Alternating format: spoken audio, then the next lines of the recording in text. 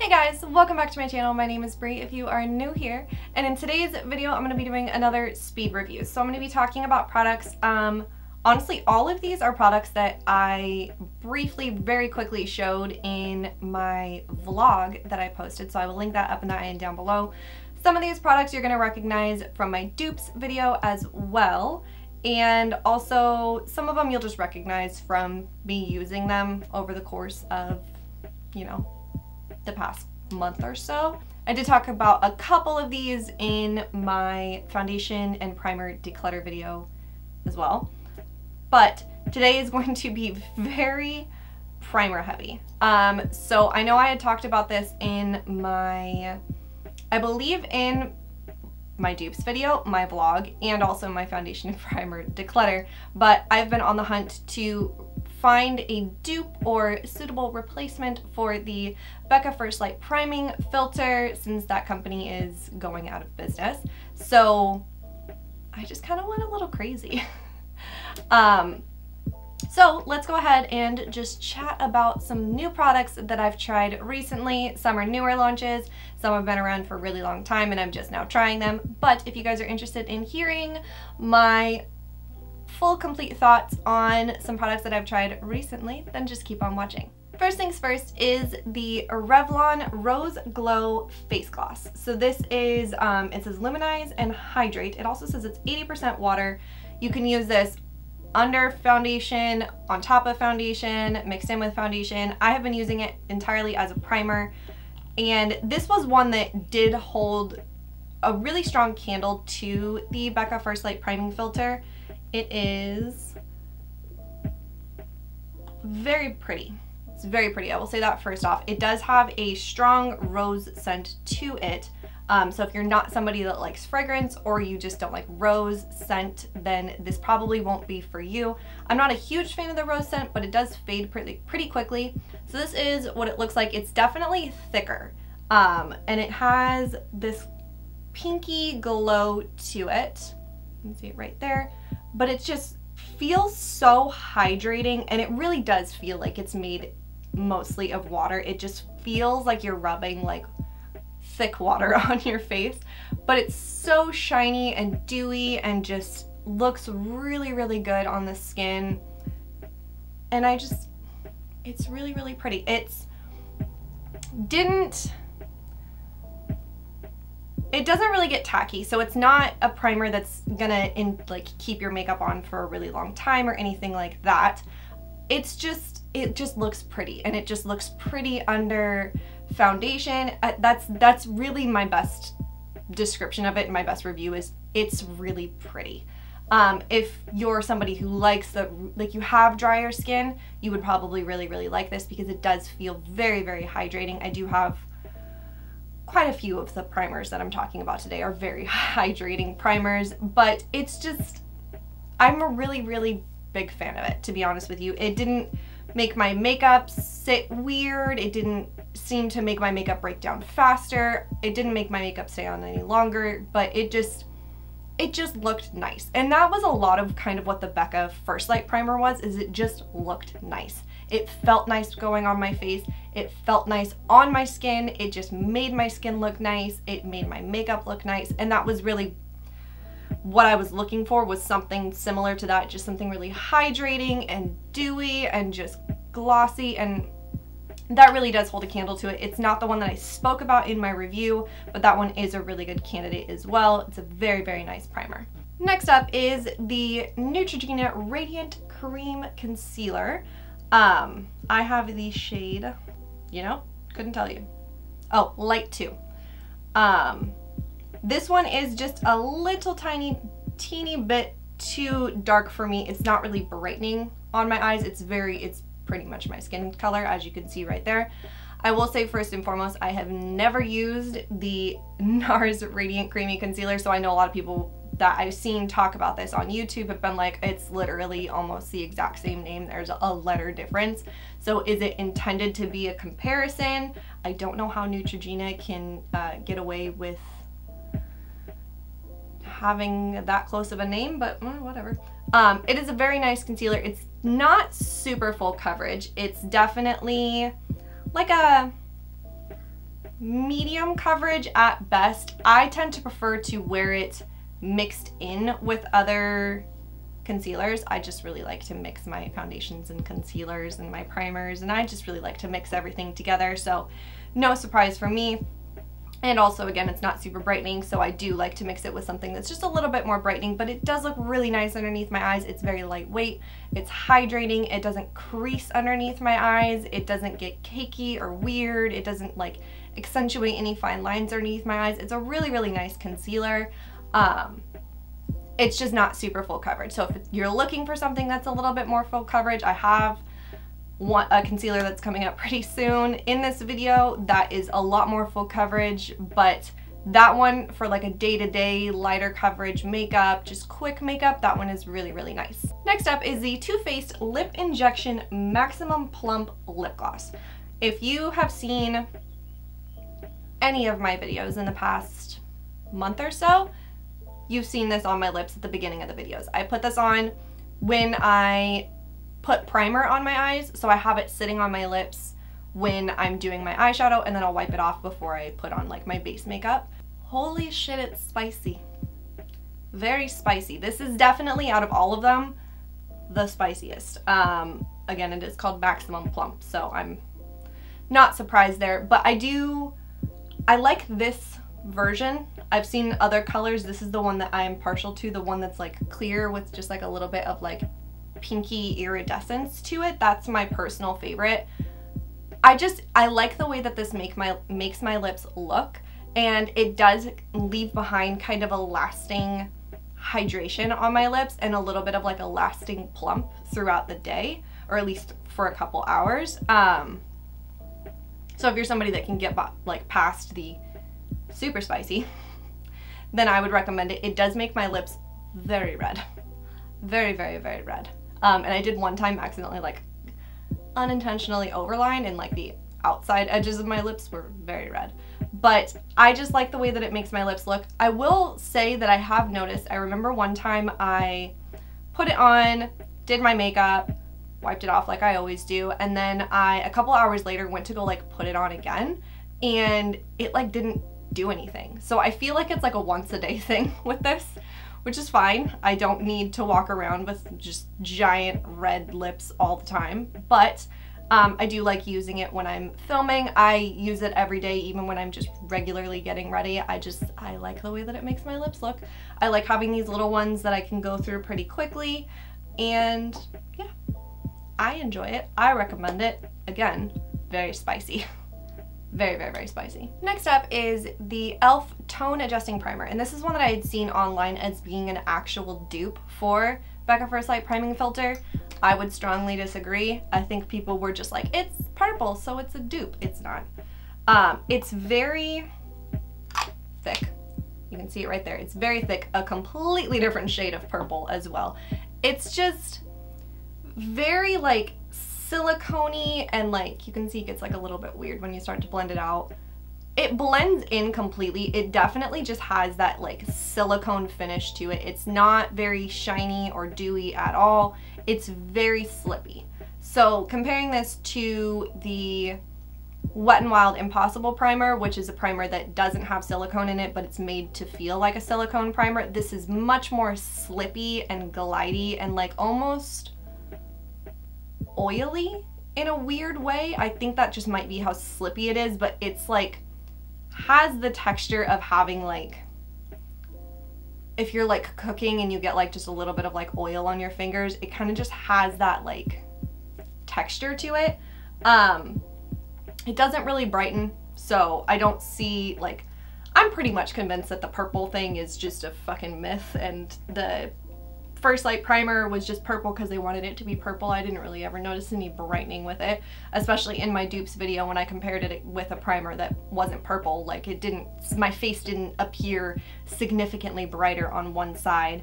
It just, it's a fine primer. I'm sure that I will probably finish it or get a decent amount of use out of it before I get rid of it, but it's like, I won't run out and buy it again. It's just, it's such a weird texture and it makes it me feel like my makeup's not gonna stay on longer. I didn't notice any like drastic breakdown of my makeup throughout the day. I, I really didn't. It's just the texture of it makes me feel like that's gonna happen. It's not pore filling, it's not, it's just meh. Like, I wouldn't recommend it. I'm gonna use it because I bought it, but it's not something that I'm like, oh my god, you need to go out and get this. It's a total dupe for Becca First Light. Like, it's great. Oh my god. It's just, even standalone as not a dupe, it's not something I would recommend. It's just really like, don't get me wrong, my hand feels really soft now that it's all soaked in, but it's just, I don't know.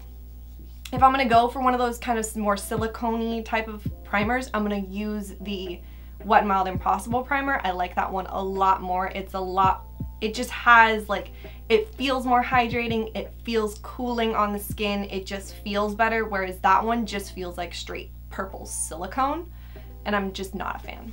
Next up is the Tarte Ultra Creamy Shape Tape. So this is obviously a spinoff of regular Shape Tape, but this is significantly more hydrating.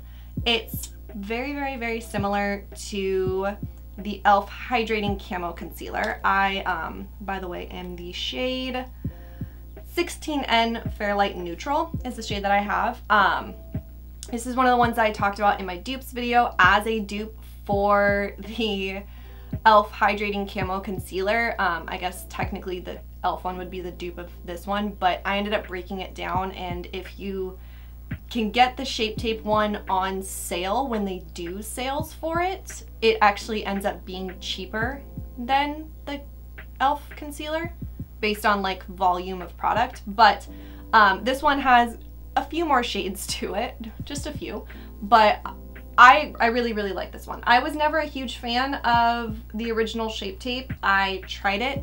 I liked the coverage for it, but it never looked good underneath my eyes because I do have drier skin. This one, on the other hand, just feels really nice underneath my eyes. It's hydrating. It doesn't like make my under eyes look crepey, even set with powder, but it's also not so hydrating that it's like, gets like really funky underneath my eyes and gets all creasy because everything's just moving around. It's a really, really, really nice concealer. I'm a really big fan of it.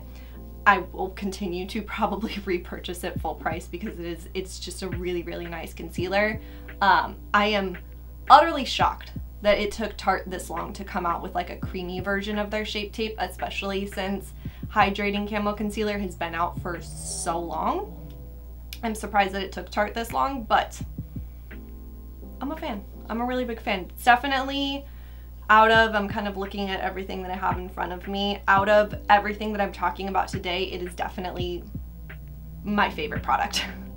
um, I have a couple that I really, really like, but that one is like definitely the standout product of this whole video. Next up is the Too Faced Plump and Prime. So I did get this in a little set, so this is a mini one. It was like a little mini set, but I wanted to try this because this is a slightly more expensive primer, so I wanted to try it in the little one, and honestly, this is quick.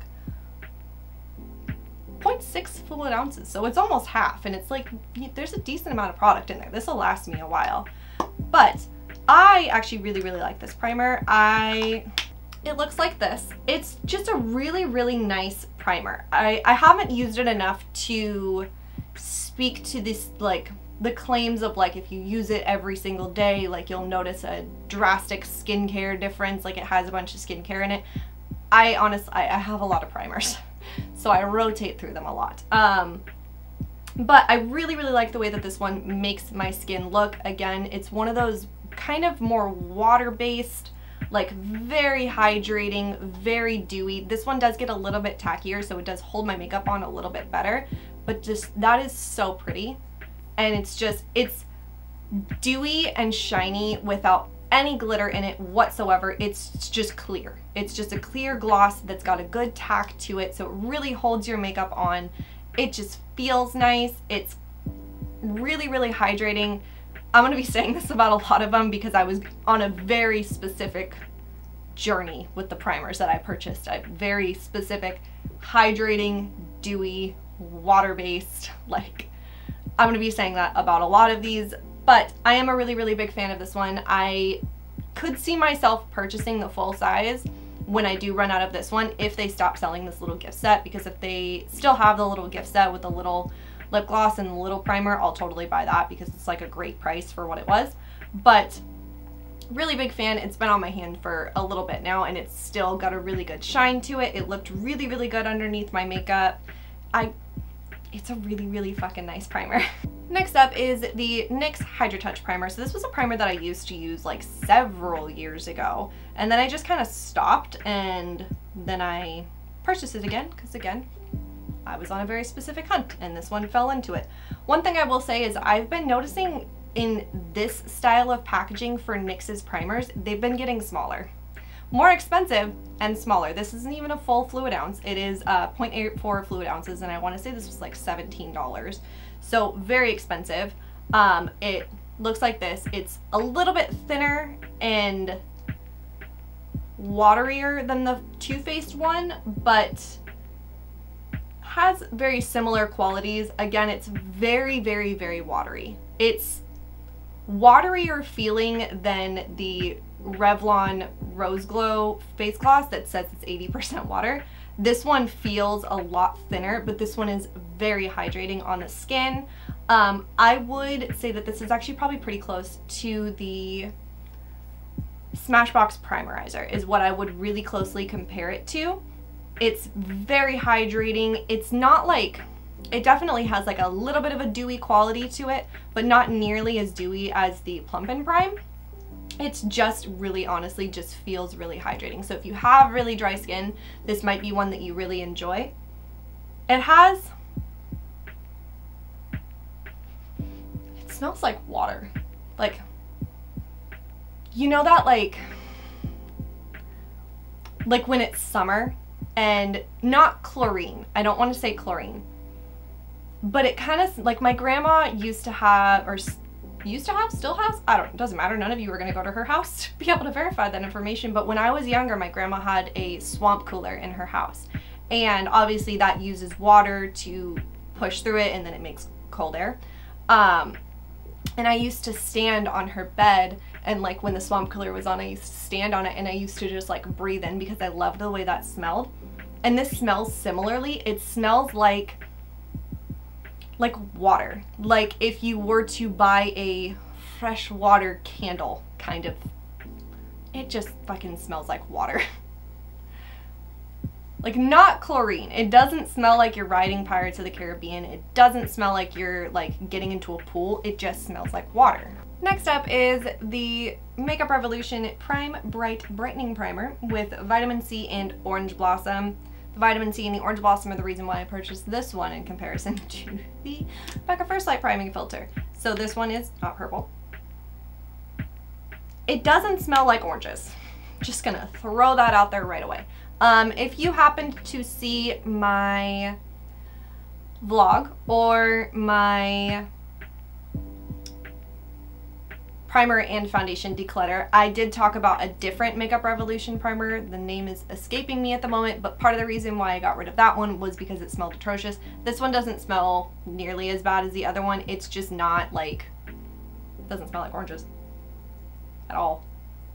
It just smells like nothing. Um, so if you don't like, you know, fragrance, doesn't smell like anything. Uh, again, super, this one is a little bit harder to blend in. You're not really going to be able to see it um, from here, but it does, like it has a little bit of a, a, almost a white cast to it, but not a white cast. It's like, you know when you are putting on like lotion onto your legs and you go to blend and then it just kind of has like little bits of white streaks through it because it's not blending in all the way. That's kind of what this one does. You have to really work to get it blended, blended in. Um, but once you do, it's pretty, it's shiny. It's, of all of them, taking the tone adjusting primer out of this, this one is probably my least favorite. It really is just kind of boring.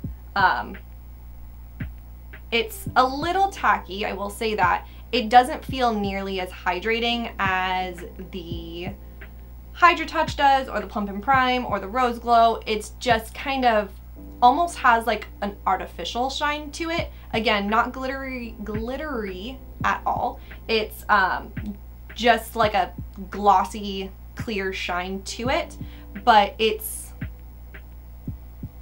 meh. I haven't worn it, like, I've worn it enough times to have like an opinion about it, but I haven't worn it enough times to see if like the vitamin C in it is would actually make a difference. I don't even think it says anywhere on any of the packaging like how much vitamin C is in it.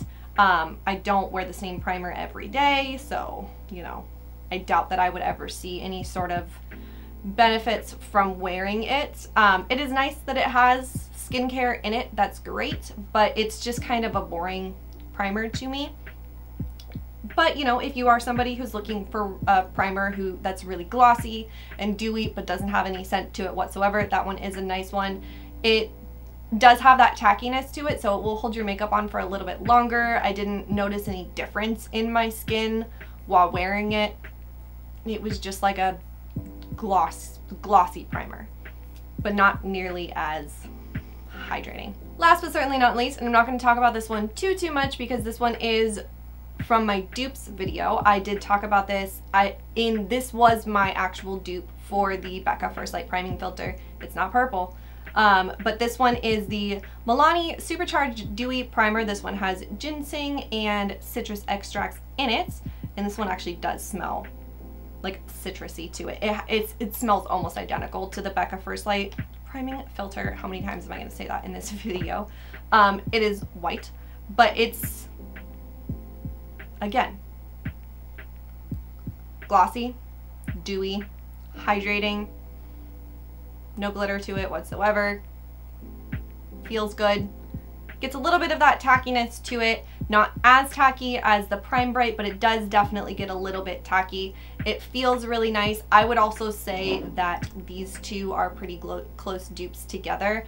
I just, on the skin, this looks very, very similar to how Becca First Light looks on my skin, which was why I decided that that was going to be my dupe. Um, no, is it? It's not an exact dupe, but side by side they looked very, very similar after they were fully applied. So that was that. If you're interested in seeing that that one applied to my skin, I did apply it in the dupes video, which I will link up in the eye down below. We're done with primers. Next up is the Milani Peach Tinted Under Eye Brightener. This is from their, they kind of had this collection with like they focused on a couple different like foods. Um, and peach was one of them. I have two things from their peach line, but this is the under eye corrector because again, I love the Becca under eye corrector, so I have to replace it. This one is a lot peachier than, I'm gonna put it right here. If you can see my little vein that's right there. Um, I'm gonna put it right there so we can see it cancel out that little vein. This one is definitely a lot peachier and more pigmented than the Becca one. The Becca one is definitely not as like, wait, how, how do I hold my hand? Here we go. But this one has really good coverage. I like to kind of just go like this with my fingers and then dot it underneath my eyes and then I'll just take a brush and I'll blend it out. Lately, when I've been doing that, I have also been taking like what's left on my fingers and I'll put it on my acne or like my darker spots and it definitely does help cover that up. So as you can see, it's pretty peach, but it's not so peach that it can't be covered with concealer. It covers up pretty easily with concealer. Um, it's a little bit hydrating. It's not like overwhelmingly hydrating. I have noticed that if my under eyes are a little bit drier, like on a particular day, it will burn just, just a little bit. Like for example, the Maybelline Fit Me concealer, I can't wear that underneath my eyes at all because it burns the living shit out of, uh, out of underneath my eyes. Does not matter when it is, it just constantly burns my under eyes. This is just like every once in a while, if like I haven't been doing a good job with my skincare, it will burn just a little bit, but it goes away really, really quickly once I've blended it out. And it's, it's nice. It doesn't wear weird underneath my like concealer or powder. I haven't noticed it like causing anything to crease up or anything like that. It mixes well with my um, NYX primer oil as well. So it, it just works really, really well underneath my eyes. It's definitely a lot thinner than one that I'm going to talk about in a minute. So it blends out to it's not super opaque, which isn't something that you want. You want just that little bit of color just to kind of correct and then it's is easily covered up with concealer. I do really, really like this one. There is another Milani one that I will be talking about in my next speed reviews video because I bought them at completely different times that I like more than this one, but I do like this one and I will continue to use it. Um, just keep in mind if you were looking for a dupe for the Becca Under Eye Brightening Corrector, this one is a lot peachier than that one. So if the Becca one was too bright for you or too light for you, this one uh, might actually work a lot better, but it is definitely a lot peachier. I will say that it is very annoying to me that they only launched this one. So in this line, particularly this peach one, there is only this shade. So if you are darker than me, this won't work for you at all. Um, if honestly, if you're lighter than me, this won't work for you at all. You have to be like my shade or just a little bit darker for this to work. Um, but like deeper skin tones, medium skin tones, this won't work at all. Next up is also from that Milani Peach line. This is their Baked Blush in the shade Peach of Me. This is what it looks like right here. It's a very, very, very pretty blush. Um, I guess I'm going to swatch this on my arm because my hand's covered in like remnants of primer and it's just gonna look funky.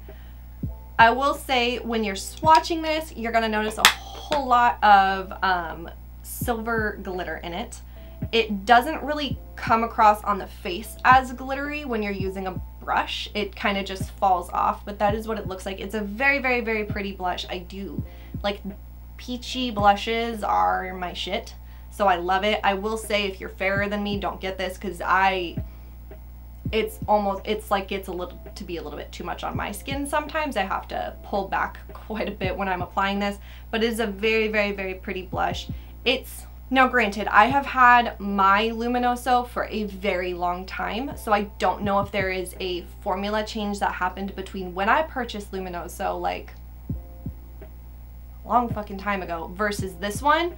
Luminoso to me is a sheen uh, just a sheeny blush, whereas this one definitely has glitter to it. You can tell that it has glitter in it.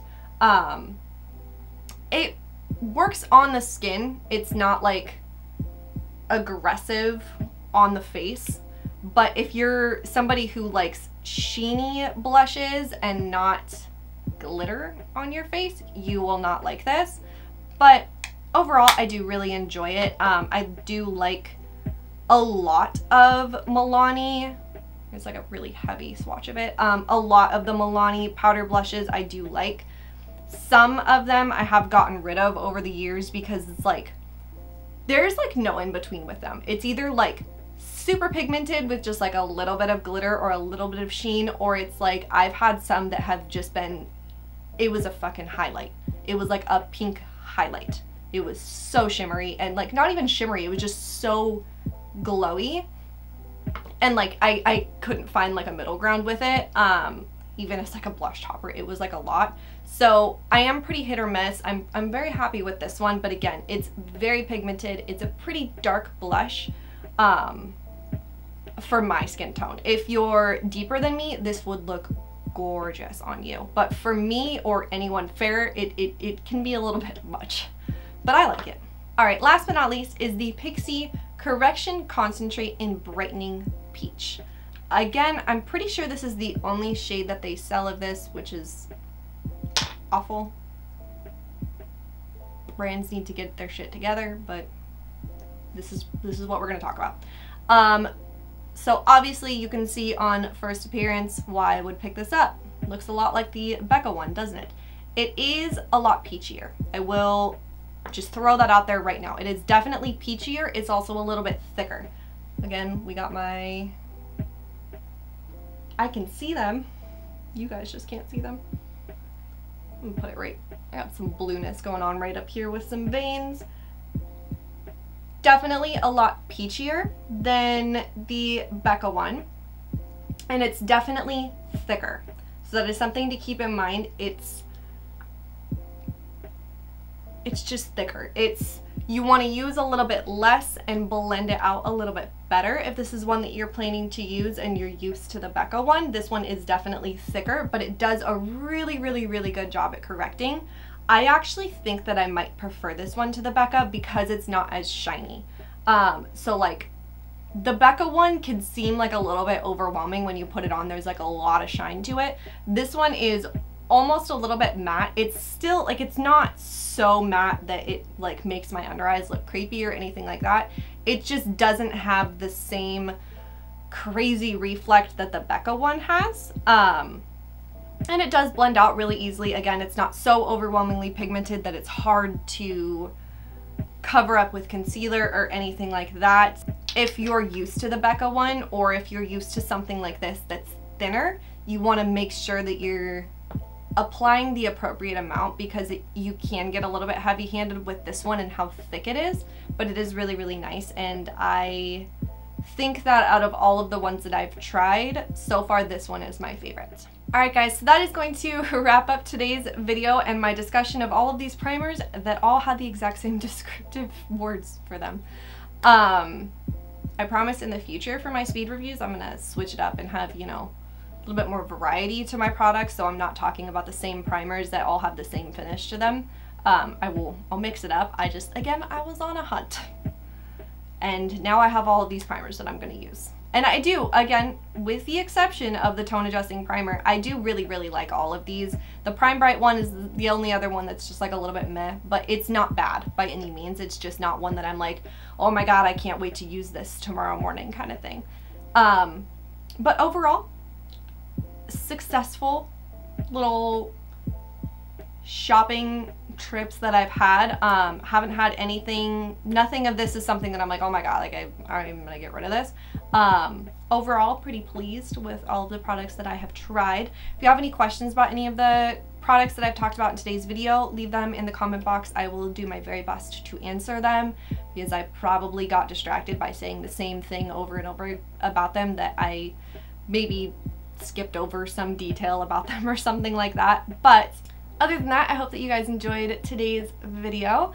I hope that you guys learned something. I hope that you found out about a product that maybe you were curious about. Comment down below and let me know if you have tried any of the products that I talked about in today's video. I would love to know. Please subscribe if you have not already. It would mean the world to me. Like this video, ring the bell, do all the things. I hope that you guys have an awesome, awesome day, and I'll see you guys in my next one. Bye!